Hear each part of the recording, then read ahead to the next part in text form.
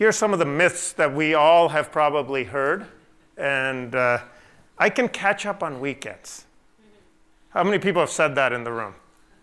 I have, I can tell you that. There is no such thing as a sleep bank. There is no real concept like sleep debt and I can pay back my debt. In some things you can.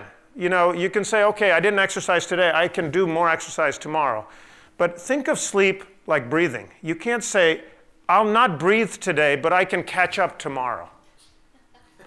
and a lot of sleep problems relate to breathing, you know, airway problems and things like that. So there is no catch up time. In fact, the harder science shows that some of the effects of sleep, uh, with some of the metabolic buildup that happens in the brain, are irreversible. That means you can't actually catch up on weekends even if you wanted to.